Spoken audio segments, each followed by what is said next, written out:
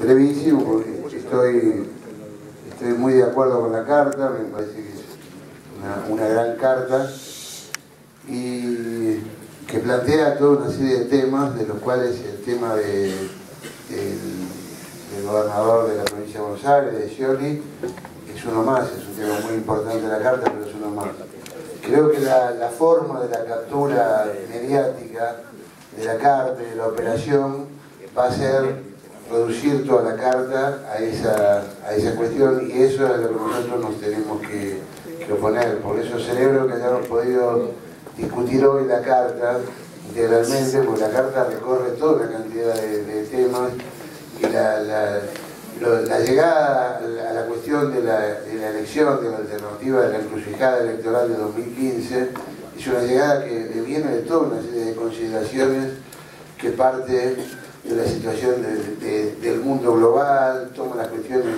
cómo se conectan, cuánto hay de fenómenos universales, digamos, en la cuestión argentina, en la forma en que la derecha nos ataca, este, bueno, todas las cosas, las cuestiones que están planteadas, la seguridad también como una cuestión global y nacional, la cuestión económica, etcétera, y por la positiva define cuáles deberían ser las características de un candidato que se atreva a continuar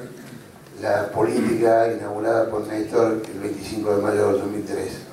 Este, así que yo creo que nosotros no tenemos que, salir y dejar de hacer la discusión chiquita que es la que le sirve al cartelito de los medios, al titular de los medios. Yo veo esta carta, eh, siempre eh, repudié, digamos, privadamente, entre amigos, aquella cosa de decir nunca, nadie lo dijo, somos los primeros en decirlo, que yo, bueno. Eh, primero, estas cosas, ni siquiera aún incluida la Scioli, no es la primera vez que Carta Abierta lo dice, ni somos los únicos que lo decimos. Este, o sea que no vamos a sacar ningún Nobel por la originalidad. Lo hacemos con la contundencia que tiene un pronunciamiento de, de carta abierta, con la integralidad, con una argumentación compacta, que toma todos los temas este, y que no... ¿Qué pasa? No, no sé, con. Eh, bueno, pero entonces, sin considerar que esto sea este, la gran originalidad, sí creo que puede ser inaugural de un gran debate en, en la sociedad y sobre todo en el interior del kirchnerismo,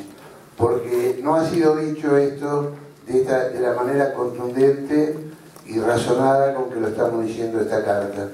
Me parece que puede ser inaugural de una, de una, de una gran marcha que tenemos que hacer hasta el 2015, hasta llegar a esas elecciones con un gran candidato. Yo creo que nosotros hace, hace unos meses que estamos con el penacho caído, tuvimos los episodios de enero, los episodios de diciembre primero, de la policía, del levantamiento de la policía, los de enero, y eso creo que la, la devaluación forzada y eso creo que nos golpeó en, algún lugar de nuestra, no de nuestras convicciones, pero sí de nuestro, de nuestro ímpetu, de nuestro orgullo kirchnerista. Me parece que ahora esto nos permite plantearnos que hay una posibilidad arrancar esa marcha y llegar al 2015 con un gran candidato que saldrá de una multitud de nombres posibles, que son de compañeros que han demostrado estar digamos, en sintonía con este proyecto y que tienen diferencias entre sí, que sus características personales son diferentes y que,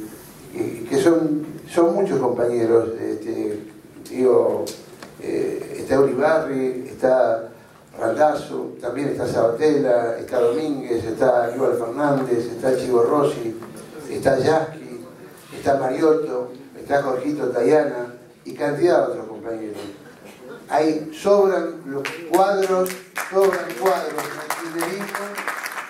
para hacer una propuesta electoral sólida que segura, este, a la que seguramente arribaremos en el 2015 para ofrecerle al electorado, al electorado cuatro años más de esta política transformadora. Nada más.